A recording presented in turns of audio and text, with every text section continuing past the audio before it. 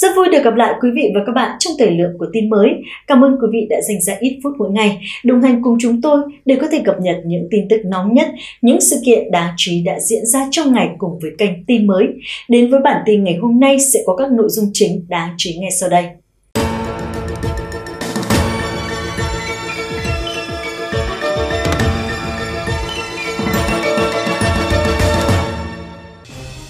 Thưa quý vị, miền Nam Trung Quốc đã hứng chịu trận lũ lụt lớn nhất trong năm nay với 7 tỉnh bao gồm Hồ Bắc, Hồ Nam, Giang Tô và An Huy bị ảnh hưởng. Hiện tại tình hình thiên tai ở An Huy rất nghiêm trọng. Theo thống kê chính thức, hơn 14 triệu người đã bị ảnh hưởng, nhưng người dân nơi đây không nhận được sự quan tâm từ chính quyền. Những bức ảnh đăng tải trên mạng cho thấy lũ lụt ở An Huy, nhiều quận, thành phố và làng mạc chìm trong nước.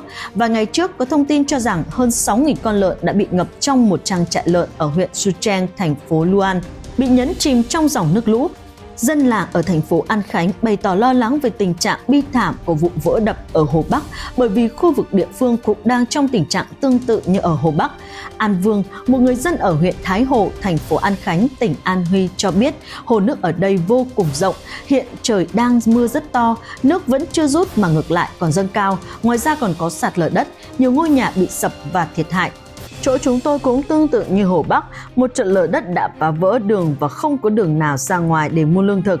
Người dân ở Myansan, tỉnh An Huy cho biết khu vực này gần sông Dương Tử, mưa lớn khiến nước sông dâng cao, còn quận Boyang lại gần một hồ nước nên lũ lụt rất nghiêm trọng.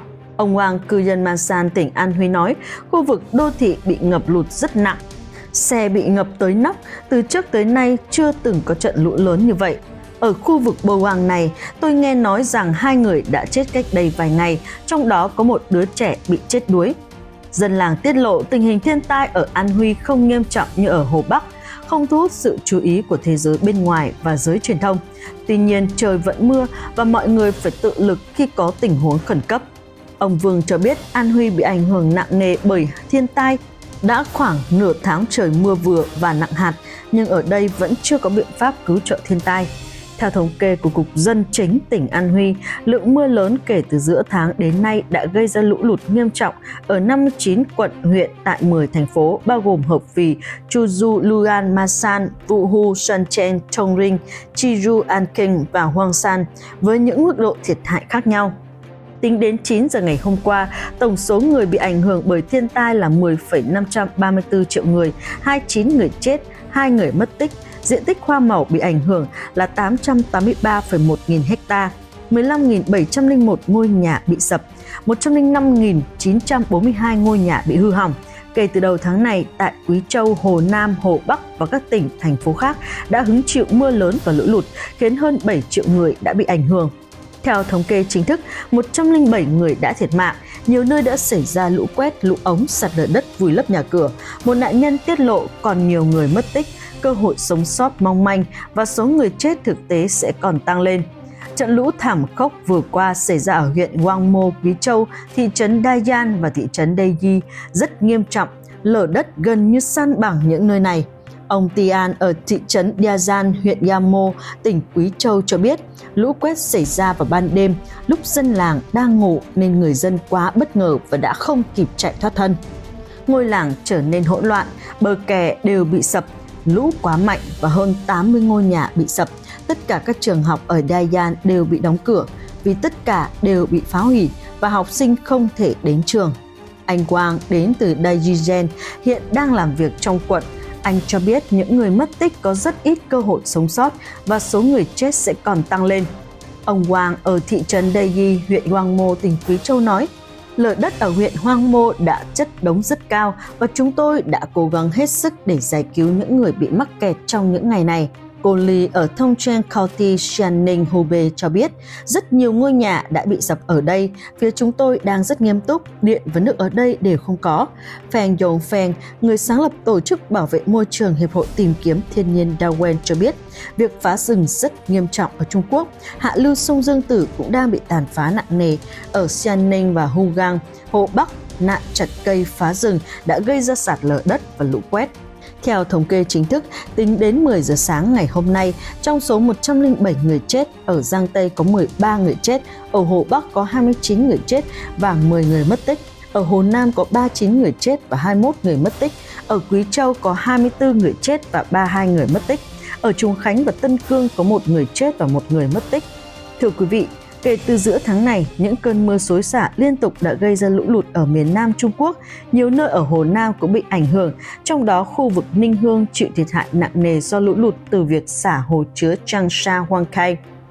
Tại sao các hồ chứa chống lũ giảm nhẹ thiên tai không phát huy được tác dụng chống lũ như quảng cáo trong quy hoạch?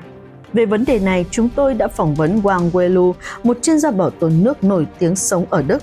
Ninh Hương, Hồ Nam, lũ lụt hành hành, người dân địa phương đặt nghi vấn hồ chứa Hoang Khai ở thượng nguồn sông Quê Weishui không có cảnh báo xả lũ sớm khiến mực nước hạ lưu dâng cao gây lũ lụt nghiêm trọng. Các quan chức và chính quyền địa phương kịch liệt phủ nhận điều này. Theo các phương tiện truyền thông chính thống, so với dòng lũ đổ vào Ninh Hương, dòng xả lũ này chỉ là một con số nhỏ, Do đó, việc xả nước từ hồ chứa Wang Khai không phải là nguyên nhân chính gây ra lũ lụt ở Ninh Hương.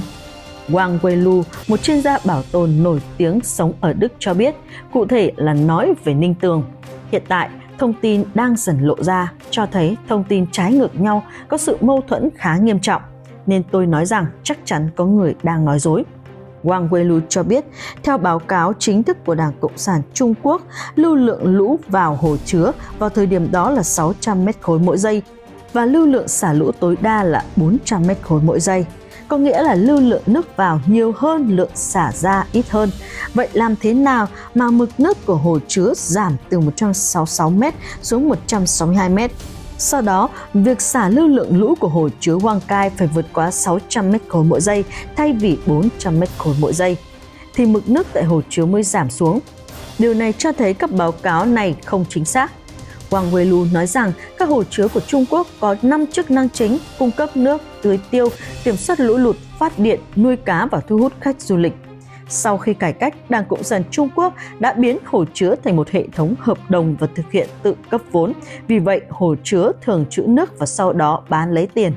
Wang Weilu nói, bước vào mùa mưa lũ năm nay nhưng hồ chứa không thể kiểm soát được lũ. Người dân ở đây trông cậy vào hồ chứa để ngăn chặn lũ và trữ nước để chống lũ. Khi lũ đến, lúc đó không phải xả lũ mà phải tích nước, giữ lũ trong hồ chứa. Tuy nhiên, khi lũ đến hồ chứa Quang Cai không thể tích trữ mà phải xả lũ, mà xả lũ thì không ngăn được lũ, đây là mâu thuẫn. Wang Weilu cho biết hồ chứa nước Hoang Cai được xây dựng vào năm 1958 trong thời kỳ đại nhảy vọt, đến nay đã được 60 năm, vượt quá tuổi thọ 50 năm nó là một hồ chứa đã quá cũ và quá yếu nên không còn an toàn nữa. Vì vậy, khi mực nước dâng lên 164 mét vào năm nay, buộc phải xả lũ để hạ thấp mực nước xuống. Lúc này, chính quyền không quan tâm đến những người bên dưới gặp nguy hiểm hay bị ngập nước. Họ lo sợ con đập sẽ sập bất cứ lúc nào. Ngoài ra, Wang Weilu chỉ ra rằng cũng có những mâu thuẫn trong các báo cáo chính thức rằng Ninh Tường, Hồ Nam đã hứng chịu một trận mưa xối xả hiếm có trong lịch sử và một trận lũ thảm khốc khiến cả thế kỷ mới có một lần. Lưu lượng đỉnh lũ lớn nhất trong lịch sử của hồ chứa Hoang Cai là 2.100 mét khối mỗi giây nếu bạn có cơn mưa xối xả lớn nhất trong lịch sử. Dòng chảy bạn tạo ra sẽ bằng trận lũ tại vị trí đập hồ chứa Hoang Cai. Lưu lượng dòng chảy phải vượt lưu lượng lũ cao nhất trong lịch sử, tức là vượt 2.100 mét khối mỗi giây còn lưu lượng lũ năm nay chỉ có 600 mét khối mỗi giây nên số liệu này có rất nhiều mâu thuẫn. Wang Weilu nói rằng từ những thông tin chính thức mâu thuẫn này, chúng ta có thể thấy nguyên nhân gây ra lũ lụt ở thành phố Ninh Hương. Trung Quốc có gần 100.000 hồ chứa như Hoang Cai. Tại sao những hồ này không phát huy được tác dụng chống lũ như quảng cáo trong quy hoạch vào mùa lũ? Còn việc xả lũ thì sao? Wang Weilu cho biết các con đập ở đây chất lượng của nó không tốt, không an toàn. Các tính toán trước đây của các hồ chứa thường được tính là 50 năm theo mục đích sử dụng kinh tế. Điều đó không có nghĩa là sau 50 năm hồ chứa sẽ không sử dụng được và chi phí bảo trì sẽ rất cao, càng ngày càng cao giống như hệ thống khoán hiện nay ở Trung Quốc. Nhà thầu chỉ khoán vận hành và kinh tế, không khoán chi phí bảo dưỡng và duy trì nó. Do đó, hồ chứa này có thể dễ dàng trở thành một hồ chứa nguy hiểm. Có 100.000 hồ chứa ở Trung Quốc, nhưng có ít nhất 40% hồ chứa không còn an toàn. Wang Weilu cho biết, ngoài ra Trung Quốc còn xây dựng hàng chục hồ chứa trên một dòng sông. Nếu một hồ bị vỡ, thì các hồ bên dưới cũng sẽ bị vỡ theo. Những hồ chứa nước này giống như một quả bom hẹ giờ. Khi trời mưa, một quả bom hẹ giờ nhỏ phát nổ thì người dân Trung Quốc sống dưới hạ nguồn hồ chứa sẽ gặp nguy hiểm. Kính thưa quý vị, một vụ lở đất kinh hoàng ở Trung Quốc đang trong quá trình xác minh nguyên nhân và khẩn trương triển khai tìm kiếm cứu hộ. Đã có 14 người được cứu sống và 91 người vẫn còn mất tích. Vụ lở đất kinh hoàng tại khu công nghiệp Liễu Khê, thành phố Thâm Quyến, tỉnh Quảng Đông, Trung Quốc đã xác định số người mất tích lên đến con số 91 người, trong đó có 59 nam và 32 nữ. Vụ lở đất kinh hoàng diễn ra vào lúc 11 giờ 40 phút ngày thứ hai đã khiến cho 33 tòa nhà bị đánh sập cùng với những hư hại nghiêm trọng. Các tòa nhà này bao gồm 14 xưởng sản xuất cùng với các tòa nhà văn phòng, nhà ăn, ký túc xá. Nguyên nhân ban đầu của vụ lở đất là do các tòa nhà được xây gần một ngọn núi nhân tạo, không có sự kiên cố ở nền móng. Vụ lở đất làm đổ sập 33 tòa nhà tại khu công nghiệp Liễu Khê. Các công trình tìm kiếm cứu nạn vẫn đang diễn ra hết sức khẩn trương. Tuy nhiên, do trời tối và mưa to cùng với sự tập trung đông đúc của người nhà nạn nhân khiến cho công tác tìm kiếm cứu nạn diễn ra gặp rất nhiều khó khăn. Giới chức Trung Quốc đã thành lập một trung tâm chỉ huy cứu hộ và ba lều điều trị tại hiện trường vụ lở đất. 14 người trước đó đã may mắn được cứu sống, 700 nhân viên cứu hộ với 17 đội chữa cháy, 4 máy bay trực thăng và 30 chó nghiệp vụ đã được huy động tham gia nỗ lực tìm kiếm nạn nhân mất tích. Đã có trường hợp ghi nhận có tới 16 người họ hàng ở trong cùng khu lở đất hiện chưa thể liên lạc được với bất kỳ ai. Vụ lở đất đang là tâm điểm của dư luận Trung Quốc bởi tình trạng này đang diễn ra khá phổ biến ở nhiều nơi những người dân ở khu vực làng Hoàng Bi Kiều, huyện Thiệu Dương, tỉnh Hồ Nam, Trung Quốc cũng đang sống trong tình trạng lo sợ khi khu đất xung quanh khu vực sinh sống của họ liên tiếp xuất hiện những chiếc hố lớn có thể gây sụt lở bất cứ lúc nào. Theo Bộ Đất đai và Tài nguyên Trung Quốc, vụ lở đất xảy ra ở một ngọn núi nhân tạo được dựng lên trong khu vực chứ không phải là một ngọn núi tự nhiên. Giới chức nước này cũng đã cử một đội ngũ chuyên gia đến điều tra tại hiện trường vụ việc.